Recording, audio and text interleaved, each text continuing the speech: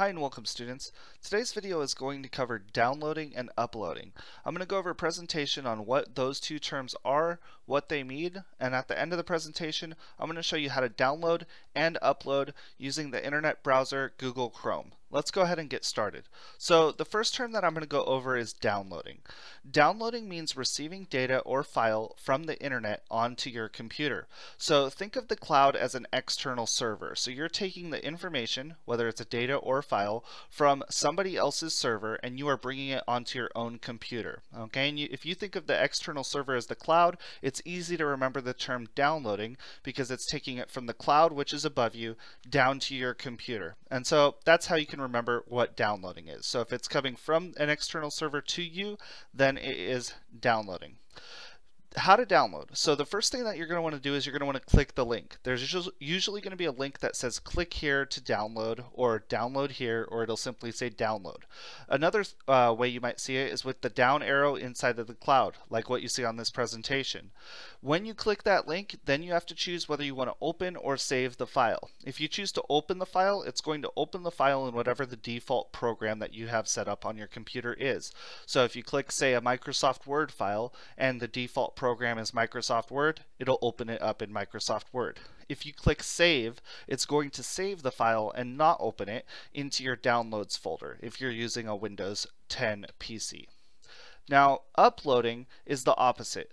Uploading means sending data from your computer to somewhere on the internet. So that could be something as simple as taking a picture from your computer and uploading it to Facebook, right? If you change your picture on Facebook, that means the file is going from your computer on your own uh, hard drive out to the cloud, right? Up to the cloud uh, onto Facebook servers. So uh, that would be an example of uploading, okay? And so I'm going to show you an example uh, in just a little bit about how to download and upload uh, to a Microsoft OneDrive, which is a cloud-based storage system. So how to upload? You're going to first need to find the upload link. This is usually signified with a cloud with the up arrow, or it'll say upload here. Okay, so you have to find that link. It has a couple different symbols.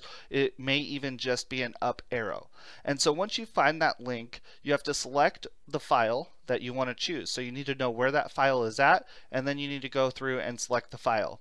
Uh, you also have an option on some websites to take the file from your file explorer and drag and drop it into the website. And then when you get done with that, you click open and then it should upload. So now I'm going to go over how to do this on Google Chrome. So you guys could see here, I'm in Google Chrome and I'm using Microsoft OneDrive. Uh, I'm in my folder called downloading and uploading and I'm going to upload, mean take it from my computer and put it onto the cloud. Uh, and I'm going to upload the PowerPoint presentation that you just saw. So to do that in Microsoft OneDrive, I need to go right up here to upload. And I click upload and I'm going to choose files. Okay, so first thing, again, you have to find the upload link. This could be on any website. And so you click files, and then you would choose the location. I've saved this to my desktop. So you would go through, you choose your location, and you click it, and you click the file, and then you click open. Alright, after you click open, it'll say uploading right up here, and then it'll let you know that you've uploaded the file. Okay. Uh, once you get that done, you'll see that the file will appear right here. Now I use this as the example because now, I, since this is a cloud-based storage system, I can open this file from any other computer. I just need to log into my OneDrive account, and then uh, I can go ahead and download the file, again, from Microsoft servers onto my own computer. So let's say I go to a different computer, I want to use this file now, and so now I need to download it. First thing I need to do, click on this checkbox to let me know uh, that that's the file that I want to download, and then I go right up here to download.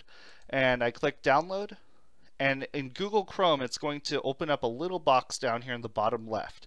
This little box tells you that your file is now downloaded. If it wasn't fully downloaded it would have a circle here and it may take longer for higher media files.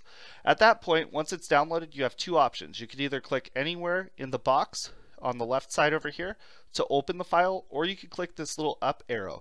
This little up arrow gives you the option to open it to always open files of this type, so to automatically open up PowerPoint files in this case, or to show in folder.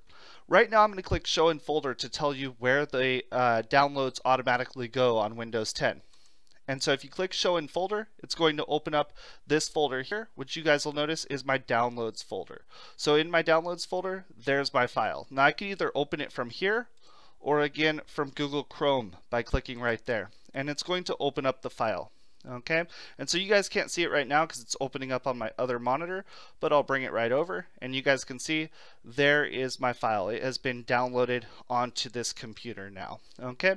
So hopefully this video has taught you a little bit about how to uh, download and upload a file using Google Chrome, as well as what the two terms mean, and kind of a little bit on the background on what's actually happening when you download and upload a file. So if this video was helpful for you, please give it a thumbs up and consider subscribing to the channel.